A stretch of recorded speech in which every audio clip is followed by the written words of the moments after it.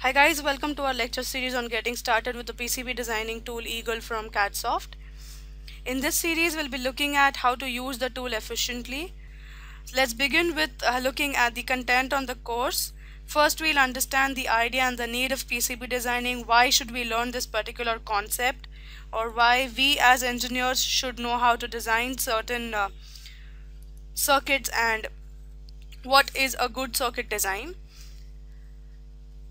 In the second part on the series, we'll be looking at uh, we'll be looking at different tools available with the Eagle software. So there are so many tools available on the tool palette with the software. We'll be looking at every each one of those in detail.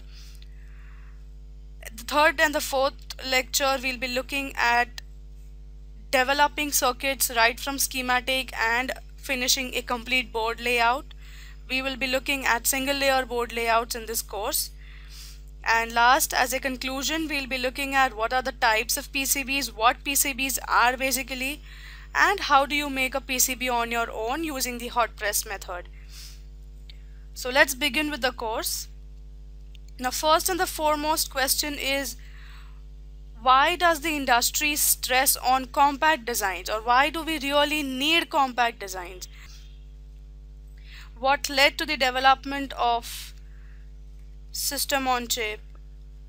Why does this industry stress on concepts like system on chip? Why do they want smaller ICs so yes we are discussing why is stress laid over compact designs or over achieving compact designs for your circuit boards. Now first and the foremost reasons for compact designs is that is basically the trade-off between area power and cost. Now let's take a scenario here. Say you are a constructor and you have a plan to invest say X amount in erecting a building which is 10 storied now once you have 10 storied building you have you plan to have 20 flats which is two flats per floor. So you are looking at an investment which will be 20 into the requirement. Obviously you will recover this when the flats are sold but initial investment is going to come from you. Now you're looking at another pro proposal which says a 20 storied building with 20 flats, one flat per floor. You're also you're looking at 20 into the requirement. This is your investment. But now you do understand the size of flat in this particular case and the size of flat in this particular case. It's going to occupy one full floor. So the amount distribution that you must be thinking for say electrical requirement, then maintenance.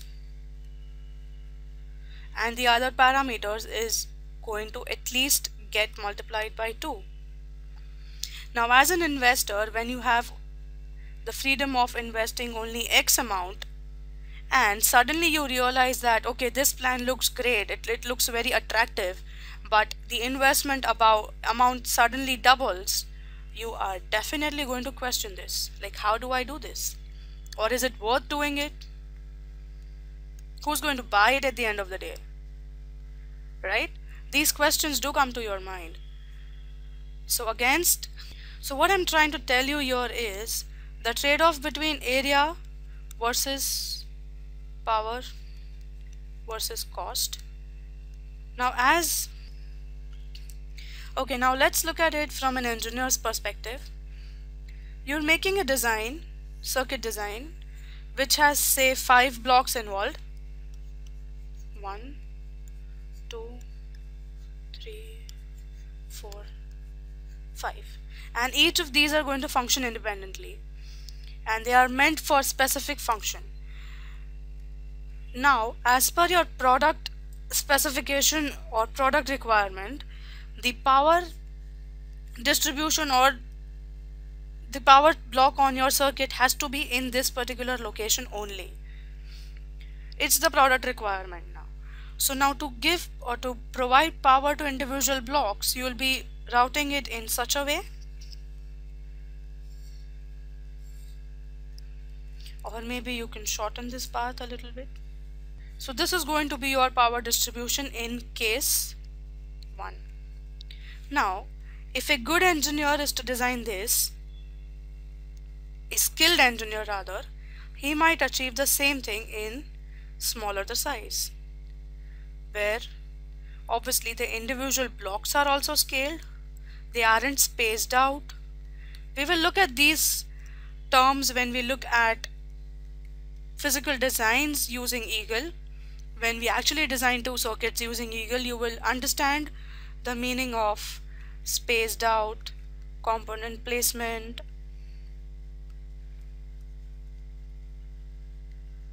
layout etc don't worry about that now. So again if you observe it's the same layout but individual blocks as well as the complete as well as the overall design has been reduced. The space has been reduced. It's it's made as a compact design. Now if you have a look your power distribution your paths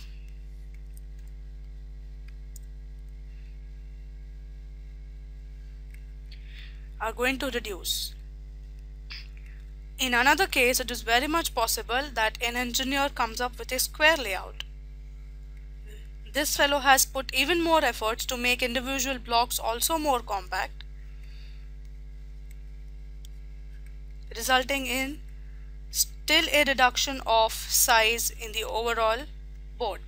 Now if you observe,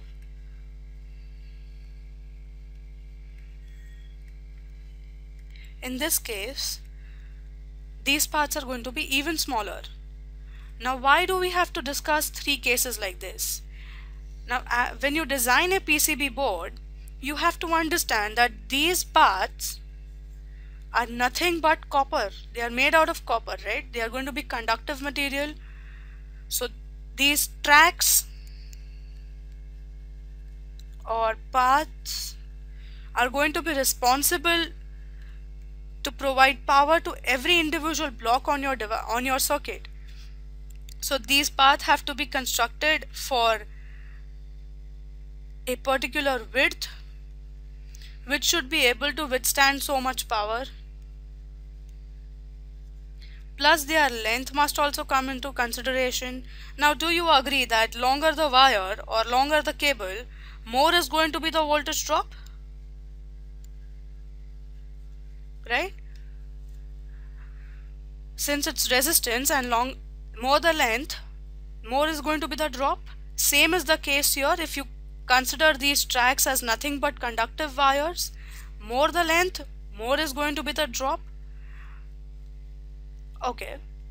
Okay now consider case 1 this power block has to provide power to this block 1 considering voltage drop that might occur in this cell track 1 your power has to be now again let's now again talking about power and area let's consider case 1 and let's name this as track 1 so this track 1 is responsible for providing power to block 1 and track 3 is going to be responsible for providing power to track 3 now do you see that track 1 has say a length L1 and in all the three cases it is very clear that L1 is greater than L2 is greater than L3. Yes. So now as designers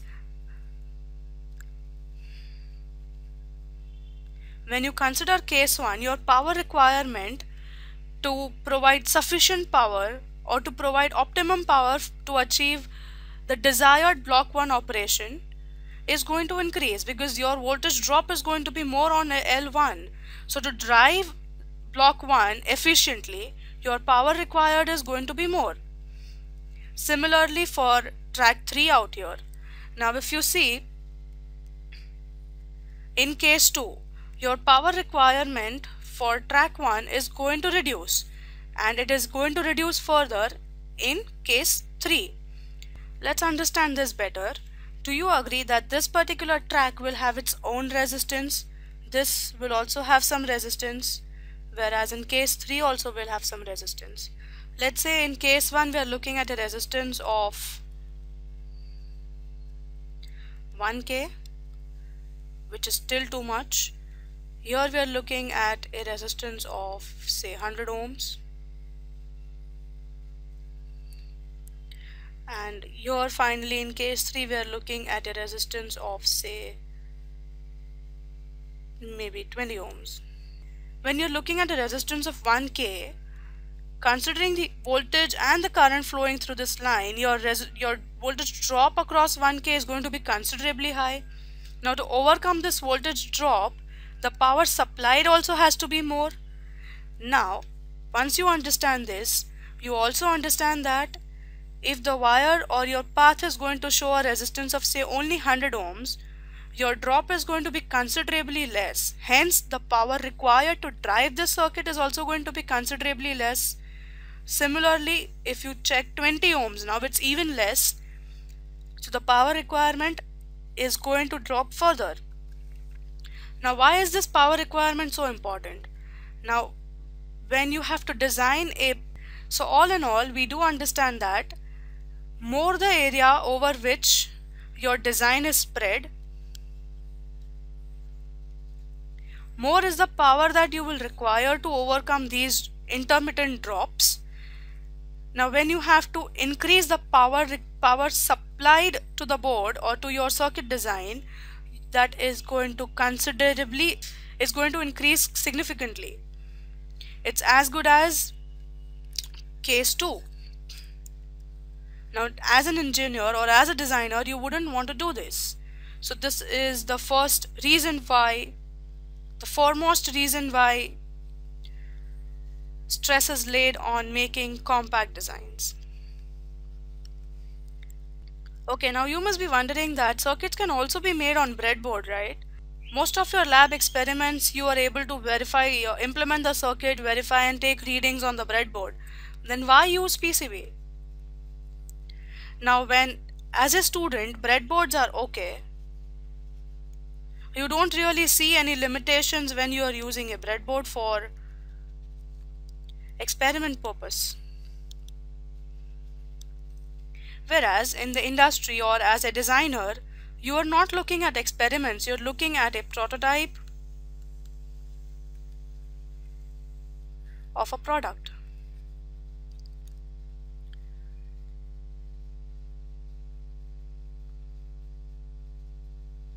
Now, as a designer, now as a designer, breadboard, now from a designer's perspective,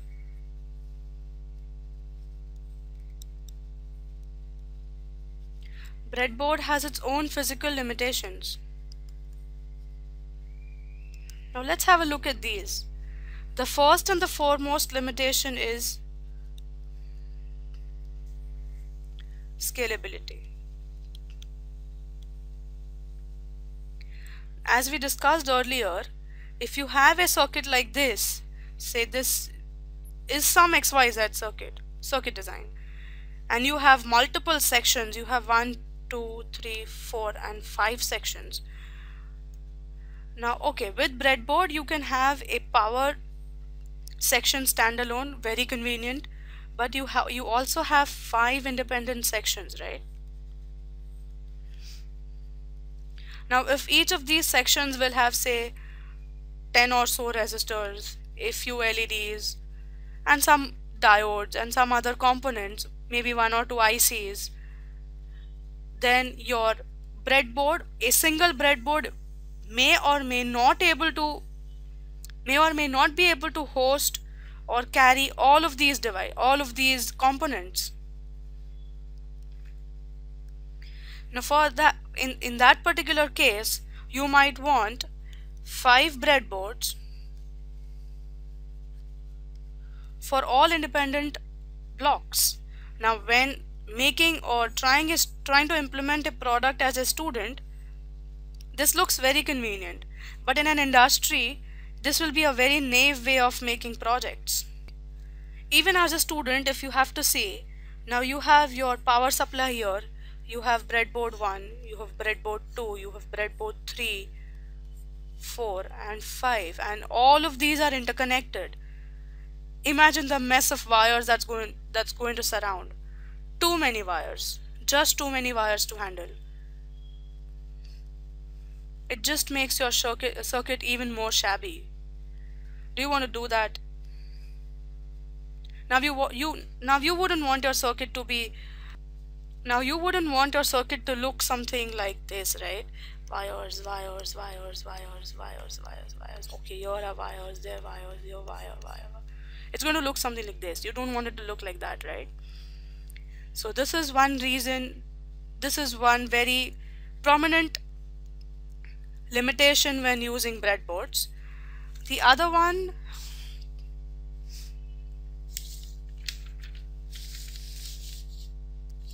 now let's look at a second reason why breadboards are not preferred over PCB or why PCB boards are preferred is that breadboards will be able to withstand current and power up to a certain limit. You wouldn't want to test a circuit which has say almost 5 ampere current flowing through the breadboard. You wouldn't risk doing that or else even you wouldn't want to test a circuit on the breadboard which has power in the range of kilowatts. You wouldn't want to do these things, right? So, but still you have to test these two scenarios. In this case, you will have to implement your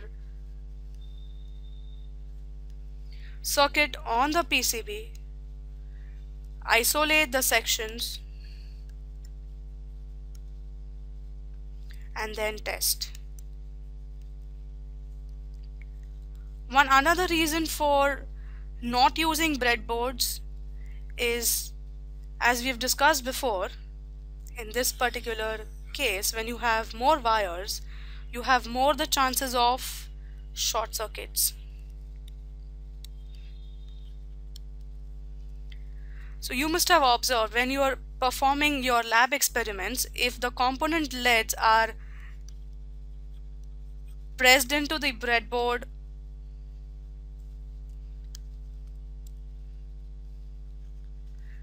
they tend to bend at times. Even wires, they tend to bend. And underneath the breadboard, these bends tend to create a short. So you must be hearing the overload beep on your power supply. Now this happens on when using a breadboard. So this is yet another reason for not using breadboards professionally. Okay, let's go back to our reason 1 now you have a circuit which turns out to be like this. Again. So in this particular case you're using wires right? Too many of them. Now to connect block 1 and power you have at least two wires getting from power block to the block 1 also you have some interconnection between block 1 and block 2 you have some connection between block 3 and block 4 now if you have if you've got to use multiple breadboards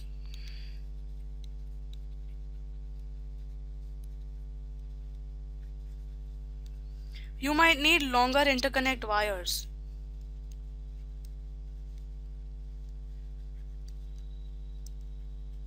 And that does nothing but leads us to the same problem discussed here which is more the voltage drop more the power required and hence not very stable testing conditions. This is going to be unstable. Your circuit is going to be unstable.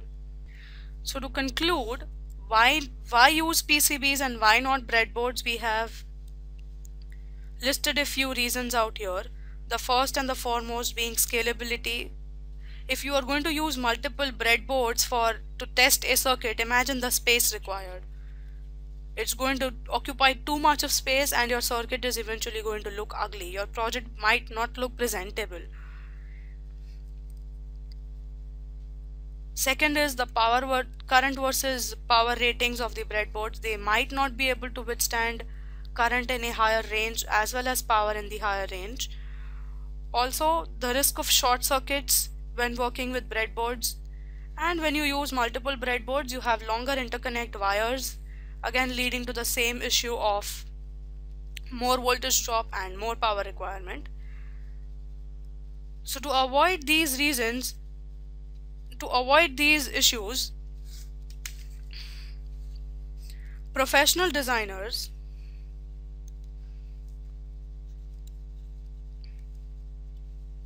will always prefer PCB designs or will always prefer PCB boards even though the development time will be significantly development as as well as testing time will be significantly higher as compared to breadboards.